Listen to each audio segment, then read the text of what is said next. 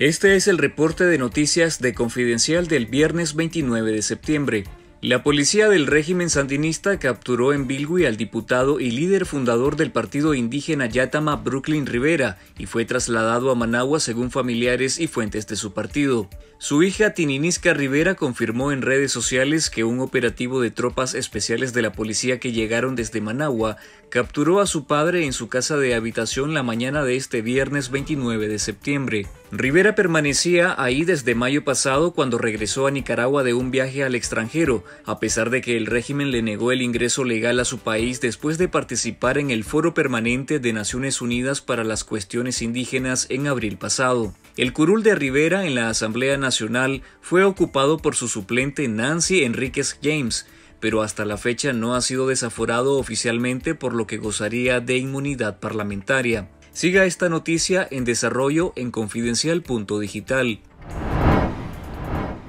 La Corte Interamericana de Derechos Humanos señaló al Distrito 3 de la Policía en Managua como un centro de tortura física y psicológica para los presos políticos, tal como sucede en otras cárceles como la Dirección de Auxilio Judicial conocida como el Chipote. En una resolución publicada el lunes, la Corte precisó que en este centro de detención los reos de conciencia permanecen en condiciones insalubres y caracterizadas por el hacinamiento. La Corte además señaló que a los presos políticos se les impone luz las 24 horas del día, no les permiten tomar sol y se habrían realizado jornadas de fumigación mientras los detenidos estaban en sus celdas, entre otros abusos. Entre los presos políticos que han pasado por el Distrito 3 están el vicepresidente del Movimiento Universitario 19 de Abril, Jason Salazar, la corista originaria de Niquinomo, Olesia Muñoz, el periodista y corresponsal de Canal 10, Víctor Ticay, todos fueron declarados culpables por los supuestos delitos de menoscabo a la integridad nacional y propagación de noticias falsas,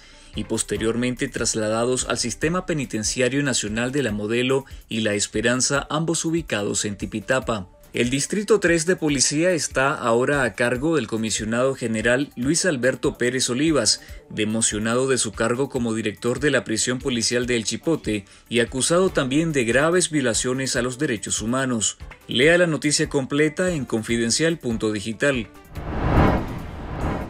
El rector del INCAE, Enríquez Bolaños Abaunza, aseguró que el propósito de esta institución sigue vigente pese al cierre y confiscación de su campus en Managua por parte del régimen de Ortega y Murillo. En una columna de opinión publicada en la revista de Harvard, que reproduce hoy Confidencial, Bolaños apuntó que el régimen cerró los edificios pero no acabó con el propósito del INCAE, que es la formación de líderes locales con una mentalidad global. El académico comentó que más allá del daño tangible, lo que más le preocupa es el daño hecho al desarrollo y la educación de tantos jóvenes que podrían aspirar a tener empleos de mayor calidad, tanto en instituciones públicas como privadas en Nicaragua. El Ministerio de Gobernación canceló la personería jurídica y ordenó el traspaso de los bienes del INCAE al Estado nicaragüense, que asciende a más de 20 millones de dólares alegando el incumplimiento de las leyes que lo regulaban, mismo argumento utilizado para cerrar más de 3.000 ONGs y universidades en el país.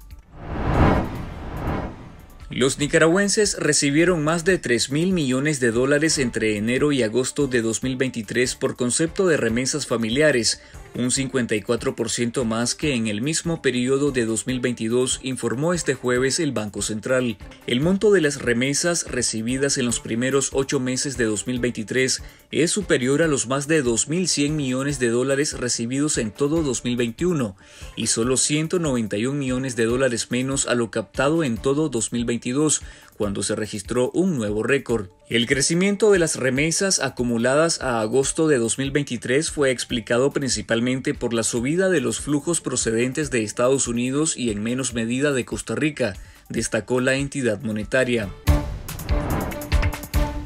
En Nicas Migrantes de nuestro sitio web confidencial.digital les recomendamos la nueva entrega de la columna Papeles en Regla, en las que el abogado y ex subdirector de Migración de Costa Rica, Dagger Hernández, explica por qué la categoría especial temporal es la solución para los nicaragüenses solicitantes de refugio que aún no tienen respuesta. Gracias por ver este video y si aún no lo has hecho, suscríbete a nuestro canal en YouTube Activar las notificaciones para recibir las noticias del momento sobre Nicaragua. Tu respaldo a Confidencial es imprescindible para seguir informando y para ganar la batalla de la verdad.